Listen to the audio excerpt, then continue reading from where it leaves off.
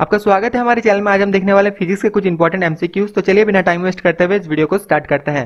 Which phenomena proves that light is a transverse wave interference scattering dispersion polarisation इसका जो correct option है यह है ऑप्शन फोर पोलराइजेशन पोलराइजेशन एक एकमात्र ऐसा फेनोमेना है जो कि प्रूव करता है light is a transverse wave basically क्या होता है? लाइट जो है इसे कंसिडर किया जाता है इलेक्ट्रोमैग्नेटिक वेव क्योंकि इसका जो इलेक्ट्रिक और मैग्नेटिक फ़ील्ड वेक्टर है, ये प्रोपागेट करते हैं परपेंडिकुलर टू ईच अदर लेकिन पोलराइजेशन क्या करता है? Polarisation is the phenomena of restricting vibration of light in a particular direction तो पोलराइजेशन की वजह से जो है लाइट जो है इसे ट्रांसवर्स वेव के तौर पे माना जाता है तो चलिए आप नेक्स्ट आगे बढ़ते हैं नेक्स्ट क्वेश्चन देखते हैं Why fuse of wire is made of alloy of tin and lead? It has high melting point and low resistance. It has low melting point and high resistance. It has low melting point and low resistance. It has high melting point and high resistance. इसका जो correct option है ये है option two it has low melting point and high resistance जो fuse बनाए जाते हैं fuse wire जो बनाए जाते हैं, ये एलॉय का बनाया जाता है एलॉय होता है टीन और लेट का, ये एलॉय होता है जो बनाया जाता है फ्यूज वायर और बेसिकली इसमें क्या होता है it has low melting point and high resistance इसमें बेसिकली लो मेल्टिंग पॉइंट और हाई रेजिस्टेंस क्यों चूज़ किया जाता है? क्योंकि हाई रेजिस्टेंस की वजह से क्या होगा, जल्दी ही हीट अप हो जाएगा और अगर large amount of current pass होगा तो लो मेल्टिंग पॉइंट की वजह से ये ब्रेक कर जाएगा। इसीलिए जो है फ्यूज ऑफ़ वायर जो है, ये बनाया जाता है alloy of tin and lead चलिए अब नेक्स्ट आगे बढ़ते हैं नेक्स्ट क्वेश्चन देखते हैं।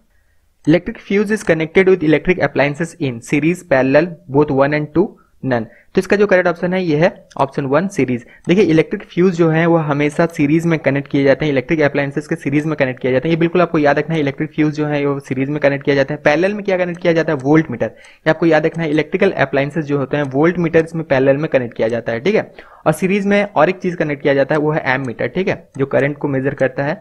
एम मीटर जो है, ये करंट को मेजर करता है तो सीरीज़ में एम मीटर को कनेक्ट किया जाता है और इलेक्ट्रिक फ्यूज को कनेक्ट किया जाता है और पैरेलल में जो है वोल्ट मीटर कनेक्ट किया जाता है। वोल्ट मीटर क्या करता है? पोटेंशियल डिफरेंस मेजर करता है, ठीक है? एक इलेक्ट्रिक सर्किट में जो है पोटेंशियल डिफरेंस मेजर करता है वोल्ट मीटर और उसे पैरेलल में कनेक्ट किया जाता है। चलिए अब नेक्स्ट आगे बढ़ते हैं नेक्स्ट क्वेश्चन देखते हैं।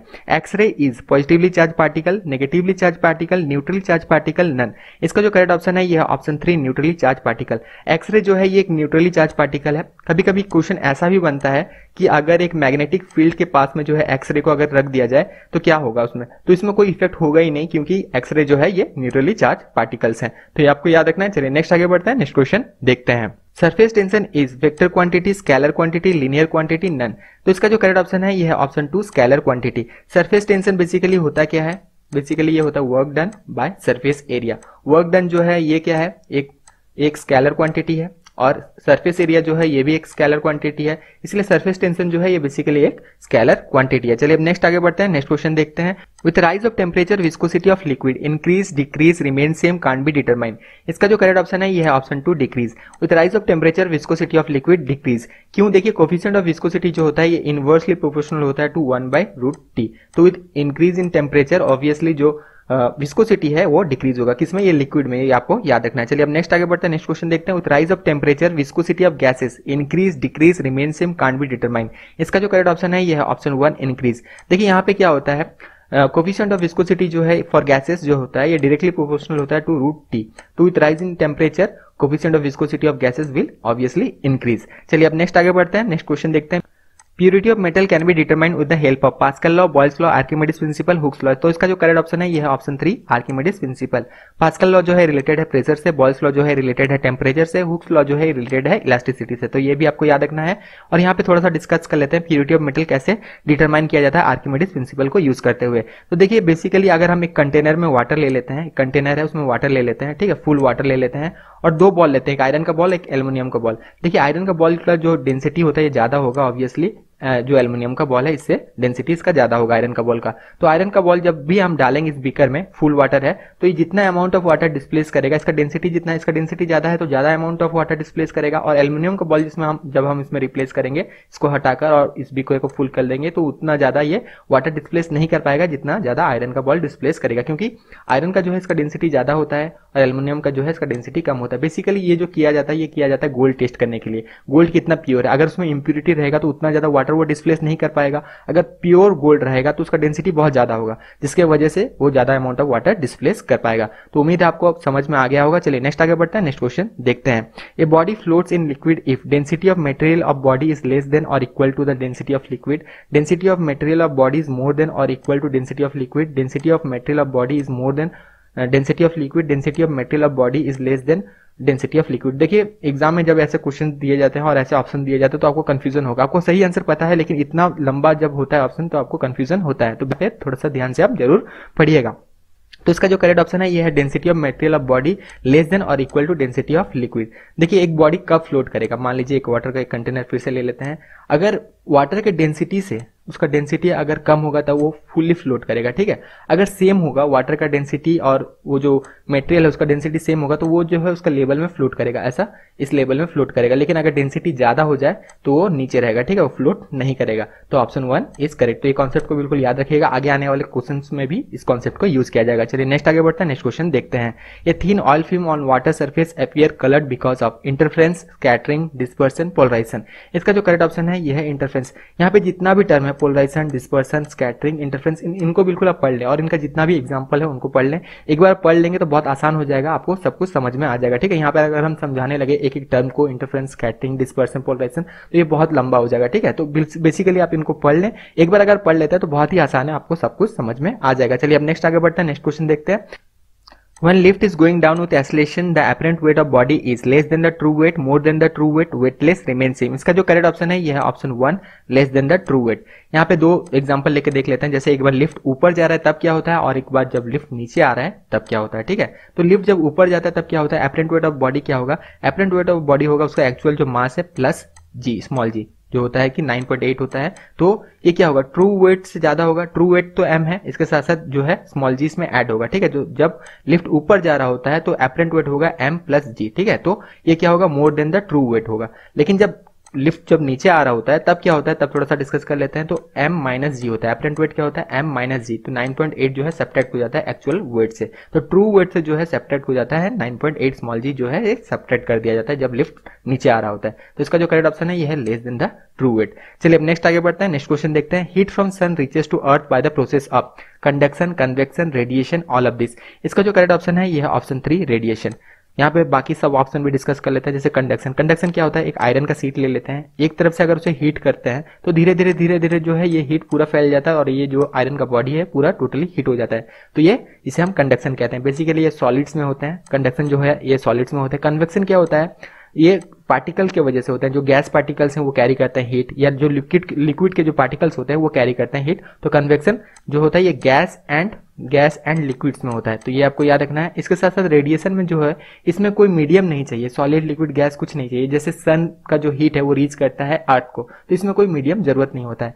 तो heat from sun reaches to earth by the process of radiation. अब आपको सब कुछ यहाँ पे क्लियर हो गया होगा। चलिए अब नेक्स्ट आगे बढ़ते हैं। नेक्स्ट क्वेश्चन देखते हैं। Spring balance work on the principle of Boyle's law, Hooke's law Bernoulli's principle, Pascal law. इसका जो करेक्ट ऑप्शन है, ये है हुक्स लॉ। जैसे हमने पहले ही बताया था, हुक्स लॉ जो है रिलेटेड है, इलास्टिसिटी से। स्प्रिंग किससे रिलेटेड है? ऑब्वियसली इलास्टिसिटी से रिलेटेड है। बॉयल्स लॉ जो है है ये टेम्परेचर से रिलेटेड है और पास्कल लॉ ये रिलेटेड है प्रेशर से। देखिए कभी कभी ऐसे भी क्वेश्चन बनता है हाइड्रोलिक लिफ्ट हाइड्रोलिक ब्रेक्स जो है कौन से प्रिंसिपल पे काम करते हैं? तो ये पास्कल लॉ के प्रिंसिपल पे काम करते हैं। तो बेसिकली यहाँ पे अगर आपको इतना भी पता है कि कौन सा लॉ किससे रिलेटेड है तो भी आप सही ऑप्शन बिल्कुल टिक करके एग्ज़ाम में आ सकते हैं। चलिए, अब नेक्स्ट आगे बढ़ते हैं नेक्स्ट क्वेश्चन देखते हैं। A fresh egg when placed in salt water it will shrink float burst both one and two तो इसका जो करेक्ट ऑप्शन है, ये है ऑप्शन टू फ्लोट तो ये पहले हमने क्वेश्चन में डिस्कस किया था, एक बॉडी का फ्लोट करता है, एक मटेरियल का फ्लोट करता है वाटर में जब डेंसिटी कम होता है या उसके बराबर होता है. तो यहाँ पे भी देख लेते हैं मान लीजिए एक बीकर में हम वाटर ले लेते हैं, एक एक प्योर वाटर है, ठीक है? तो क्या होगा इसमें जब हम एक को डालेंगे तो ये क्या होगा? फ्लोट नहीं करेगा, ये क्या करेगा? नीचे जाके श्रिंक कर जाएगा, ठीक है? डूब जाएगा। लेकिन जब हम इसमें सॉल्ट ऐड कर देंगे वाटर में, बहुत ज़्यादा अमाउंट ऑफ़ सॉल्ट ऐड कर देंगे तो क्या होगा? वाटर का डेंसिटी बढ़ जाएगा। एक के डेंसिटी से वाटर का डेंसिटी बढ़ जाएगा, जिसकी वजह से एक फ्लोट करेगा, ठीक है? एक जो है इसमें स्विम करेगा। तो यहाँ पे आपको कॉन्सेप्ट क्लियर हो गया होगा। अगर हम फ्रेश वाटर में डालते हैं तो ये नहीं नहीं फ्लोट करेगा, ठीक है? लेकिन अगर एक को हम डालते हैं किसमें? सॉल्ट वाटर में क्योंकि सॉल्ट अगर डालेंगे तो डेंसिटी ऑफ़ वाटर इंक्रीज हो जाएगा। ये एक का जो है डेंसिटी से ज़्यादा हो जाएगा, इसकी वजह से एक जो है इसमें फ्लोट करेगा। चलिए अब नेक्स्ट आगे बढ़ते हैं नेक्स्ट क्वेश्चन देखते हैं। An athlete run before long jump to get advantage on inertia of motion frictional force moment of force principle of moments. तो इसका जो करेक्ट ऑप्शन है यह option one inertia of motion क्या होता है, जब आप एक लॉन्ग जंप का इवेंट देख रहे होते हैं तो क्या होता है बेसिकली एक एथलीट दौड़ के आता है, फिर एक लंबा छलांग मारता है। लेकिन अगर वो खड़े होकर वही छलांग मारे तो उतना दूर वो छलांग नहीं मार पाता। क्यों? वो दौड़ता है तो वो क्या करता है इनर्सी ऑफ़ मोशन को गेन करता है, जिसकी वजह से वो एक लंबा छलांग मार पाता है। और एक एग्ज़ाम्पल लेके देखते हैं, जैसे एक एयरप्लेन है, ठीक है? तो एयरप्लेन डायरेक्टली तो टेकअप कभी नहीं करता है ठीक है? देखिएगा, वो रनवे पे पहले दौड़ता है, उसके बाद ग्रेजुअली वो टेकअप करता है। तो क्यों? देखिए, वो इनर्सी ऑफ़ मोशन को गेन करता है, उसके बाद जो है, ये टेकअप लेता है। चलिए, अब नेक्स्ट आगे बढ़ते हैं नेक्स्ट क्वेश्चन देखते हैं। The frequency of direct current is zero fifty hertz sixty hertz hundred twenty hertz तो इसका जो करेक्ट ऑप्शन है, ये है ऑप्शन वन ज़ीरो यहाँ पे दो ग्राफ प्लॉट करके आपको दिखा देते हैं, एक डायरेक्ट करंट का और एक ऑल्टरनेटिंग करंट का। यहाँ पे सेकेंड और यहाँ पे करंट ले लेते हैं। तो डायरेक्ट करंट का अगर हम ग्राफ प्लॉट करें तो वो क्या होगा? कांस्टेंट होगा। क्योंकि डायरेक्ट करंट में जो है ये फ्रीक्वेंसी कंपोनेंट प्रेजेंट नहीं होता है ठीक है? और इसी वजह से इसमें जो है वोल्टेज कांस्टेंट होता है। और अल्टरनेटिंग करंट का अगर हम देखें तो ये साइन वेव के जैसे होता है और इसमें जो है फ्रीक्वेंसी कंपोनेंट प्रेजेंट होता है। अगर हम बात करें डायरेक्ट करंट का तो इसमें जो है फ्रीक्वेंसी ज़ीरो होता है और इसका जो है वोल्टेज कॉन्स्टेंट होता है। ये आप, आपको याद रखना है कि डायरेक्ट करंट का जो वोल्टेज होता है कॉन्स्टेंट होता है। ऑल्टरनेटिंग करंट जो है जो हमारे घर में बिजली आती है तो वो ऑल्टरनेटिंग करंट होता है जिसकी वजह से देखिए कभी कभी वोल्टेज अप डाउन होता है, लेकिन डिरेक्ट करंट में वोल्टेज अप डाउन नहीं होता है। चलिए अब नेक्स्ट आगे बढ़ते हैं नेक्स्ट क्वेश्चन देखते हैं। The boiling point of water depends on atmospheric pressure volume density mass तो इसका जो करेक्ट ऑप्शन है, यह ऑप्शन वन एटमोस्फेरिक प्रेशर अगर आप घर में खाना बनाते हैं तो देखिएगा वो जल्दी पक जाता है, लेकिन आप अगर एक माउंटेन पे जाके क्लाइम करके उसमें अगर खाना बनाएँगे तो देखिए वो उतना जल्दी नहीं पकेगा। क्यों? क्योंकि एटमोस्फेरिक प्रेशर वहाँ पे जो है कम हो जाता है, जिसकी वजह से खाना जो है पकने में ज़्यादा समय लगता है। लेकिन जो है ग्राउंड में ये जल्दी पक जाता है, क्योंकि एटमोस्फेरिक प्रेशर ग्राउंड में जो है ये ज़्यादा होता है। चलिए, अब नेक्स्ट आगे बढ़ते हैं नेक्स्ट क्वेश्चन देखते हैं। Spectacles use for viewing three movie है बाइफोकल लेंस लिकल लेंस कॉन्केव लेंस पोलरॉइड्स तो इसका जो करेक्ट ऑप्शन है, ये है ऑप्शन फोर पोलरॉइड्स तो बेसिकली जो स्पेक्टिकल्स आप यूज़ करते हैं थ्री मूवी देखने के लिए, वो बेसिकली पोलरॉइड्स होते हैं। थ्री मूवी में बेसिकली क्या होता है? दो इमेज को साइमल्टेनियसली प्रोजेक्ट किया जाता है स्क्रीन में। एक हॉर्जेंटली पोलराइज रहता है और एक वर्टिकली पोलराइज रहता है। स्पेक्टिकल्स मान लीजिए ये है तो एक आँख से आप हॉर्जेंटली पोलराइज इमेज को देखते हैं और दूसरे आँख से आप वर्टिकली पोलराइज इमेज को देखते हैं। अगर आप एक आँख बंद कर दे तो देखिएगा आपको आधा जो है स्क्रीन में आधा इमेज दिखेगा, आधा नहीं दिखेगा। तो बेसिकली ये जो होते हैं पोलराइड्स होते हैं, ये आपको याद रखना चलिए अब नेक्स्ट आगे बढ़ते हैं नेक्स्ट क्वेश्चन देखते हैं। It is easy to bust a gas filled balloon with a needle then with a nail it is because nail is longer than needle, nail exert more pressure than needle on balloon, needle exert more pressure than nail on balloon, none. तो इसका जो correct option है ये है option three needle exert more pressure than nail on balloon. दो balloon ले लेते हैं, ठीक है? एक हम नेल से एक को बस्ट करने की कोशिश करते हैं, एक नीडल से। तो नीडल से जैसे हम बस्ट करने की कोशिश करेंगे, वो जल्दी ही बस्ट हो जाएगा। क्यों? क्योंकि जो है ज़्यादा प्रेशर हम एग्जर्ट कर पाएँगे इसमें। प्रेशर बेसिकली होता है प्रेशर का अगर हम बात करें तो बेसिकली क्या होता है? Force by area of contact ठीक है? Force by area of contact area of contact होता है तो नीडल जो होता है बहुत शार्प होता है। तो एरिया ऑफ़ कॉन्टैक्ट बहुत कम हुआ तो थोड़ा सा ही अगर हम फोर्स लगाते हैं तो ये बैलून जो है बस्ट कर जाता है। लेकिन जो नेल है, इसमें क्या होगा? एरिया ऑफ़ कॉन्टैक्ट ज़्यादा होता है तो इसमें ज़्यादा फोर्स हमें एग्जेक्ट करना पड़ता है और इसमें थोड़ा सा टाइम लग सकता है। तो चलिए अब नेक्स्ट आगे बढ़ते हैं नेक्स्ट क्वेश्चन देखते हैं। Water will not vaporise if temperature is four degree humidity is zero percent temperature is hundred degree humidity is hundred percent तो उसका जो करेक्ट ऑप्शन है, यह option four humidity is hundred percent अगर humidity hundred percent हो तो water vaporise नहीं होगा। देखिए, गर्मी के दिन में क्या होता है? अगर हम कपड़े को सुखाते हैं तो जल्दी ही सूख जाता है, क्योंकि ह्यूमिडिटी बहुत कम होता है। ह्यूमिडिटी क्या होता है कि एटमोस्फेयर में वाटर कंटेंट कितना है, ठीक है? और बारिश के दिन में अगर हम सुखाते हैं तो उसमें समय क्यों लगता है? क्योंकि एटमोस्फेयर में वाटर कंटेंट बहुत ज़्यादा होता है तो ह्यूमिडिटी जितना ज़्यादा होगा, उतना देर लगेगा कपड़े सूखने में। तो चलिए अब नेक्स्ट आगे बढ़ते हैं। नेक्स्ट क्वेश्चन देखते हैं। The pitch of sound depends on its frequency amplitude intensity speed तो यहाँ पे जो करेक्ट ऑप्शन है ये है फ्रीक्वेंसी एक मेल का वॉइस और एक फीमेल का वॉइस जो है, ये डिफ्रेंशिएट कैसे किया जा सकता है इसके पीच से?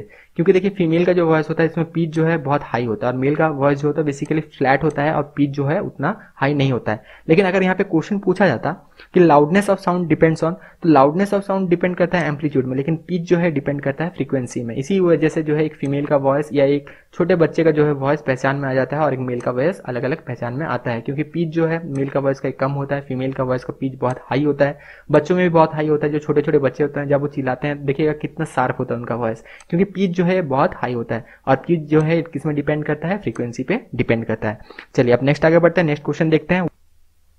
When a body immersed in a liquid, the force acting on it, buoyant force, weight, mass, both one and two तो इसका जो करेक्ट ऑप्शन है यह है option four both one and two तो दो मेजर फोर्स एक्ट करते हैं, एक है बुएंट फोर्स और दूसरा है वेट वेट जो है बेसिकली ग्रेविटेशनल पुल है, ठीक है? वेट मास क्या होता है और वेट क्या होता है, ये पहले ही हमने बताया था अपने वीडियोस में. तो मास जो होता है ये एक्चुअल वेट होता है और वेट जो होता है ये ग्रेविटेशनल पुल होता है. तो मान लीजिए एक बॉडी जो है ये ये इमर्ज है एक वाटर में, ठीक है? तो इसमें दो फोर्स एक्ट करते हैं. एक है बुएंट फोर्स जो कि ऊपर की ओर इसे ढकेलता है और एक है ग्रेविटेशनल पुल जो कि नीचे की ओर इसे खींचता है, ठीक है? तो दो मेजर फोर्स एक्ट करते हैं, एक है बुएंट फोर्स और दूसरे हैं वेट चलिए अब नेक्स्ट आगे बढ़ते हैं नेक्स्ट क्वेश्चन देखते हैं.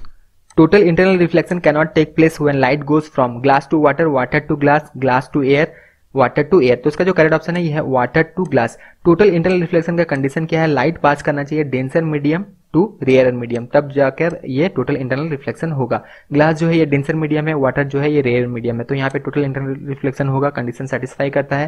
लेकिन वाटर जो है ये रेयर मीडियम है और ग्लास जो है ये डेंसर मीडियम है। तो यहाँ पे नहीं सेटिस्फाई करता है, ठीक है? तो टोटल इंटरनल रिफ्लेक्शन यहाँ पे नहीं होगा। ग्लास जो है अगेन ये डेंसर मीडियम है एयर जो है रेयर मीडियम है तो यहाँ पे भी कंडीशन सेटिस्फाई करता है। वाटर भी यहाँ पे जो है ये डेंसर मीडियम है और एयर जो है ये रेयर मीडियम है। तो यहाँ पे भी जो है कंडीशन सेटिस्फाई करता है। चलिए अब नेक्स्ट आगे बढ़ते हैं नेक्स्ट क्वेश्चन देखते हैं। Redness in atmosphere at sunset is due to dispersion refraction scattering interference तो इसका जो करेक्ट ऑप्शन है, यह ऑप्शन थ्री स्कैटरिंग जो ये होता है स्कैटरिंग की वजह से होता है। और बाकी जितने भी टर्म है, ये आपको पढ़ना है। तो बेसिकली इसको आप पढ़ लीजिए और जितने भी एग्जाम्पल्स हैं, उन्हें बिल्कुल याद रखिए। यहाँ से ज़रूर क्वेश्चन बन सकते हैं आगे चल के। चलिए नेक्स्ट आगे बढ़ते हैं नेक्स्ट क्वेश्चन देखते हैं। If electric resistance is to be decrease then the number of resistance would be connected in series parallel mix arrangement none तो इसका जो करेक्ट ऑप्शन है, ये है ऑप्शन टू पैरेलल अगर हम पैरेलल में कनेक्ट करेंगे तो जो है रेजिस्टेंस कम हो जाएगा। सीरीज़ में अगर मान लीजिए इलेक्ट्रिक सर्किट है और उसमें हम अगर सीरीज़ में कनेक्ट करते हैं तो इलेक्ट्रिक रेजिस्टेंस जो है इंक्रीज हो जाएगा। सीरीज़ में होगा, मान लीजिए वन इसका रेजिस्टेंस वन है, इसका रेजिस्टेंस टू है नेक्स्ट जो है इसका रेजिस्टेंस थ्री है। ठीक है तो सीरीज़ में कनेक्ट होगा तो ये ऐड हो जाएँगे, ठीक है? इसका रेजिस्टेंस टोटल हो जाएगा three plus two five plus one six तो यहाँ पे टोटल रेजिस्टेंस सिक्स हो जाएगा, लेकिन अगर हम इसे पैरेलल में कनेक्ट कर दें, अगर हम पैरेलल में कनेक्ट कर दें ये सर्किट में, अगर पैरेलल में कनेक्ट कर दें तो इसमें क्या हो जाएगा? वन बाय वन ठीक है plus one by two plus one by three इस तरह होगा, ठीक है? तो ये ऑब्वियसली कम होगा इससे, ठीक है? तो अगर हमें रेजिस्टेंस कम करना हो तो हमें पैरेलल में कनेक्ट करना होगा। तो यहीं तक था वीडियो। वीडियो कैसे लगा कमेंट ज़रूर बताएगा वीडियो पसंद आया तो ज़्यादा शेयर कीजिएगा और अभी तक अपने चैनल को सब्सक्राइब नहीं किया तो चैनल को ज़रूर सब्सक्राइब कर लीजिएगा। तब तक के लिए all the best thank you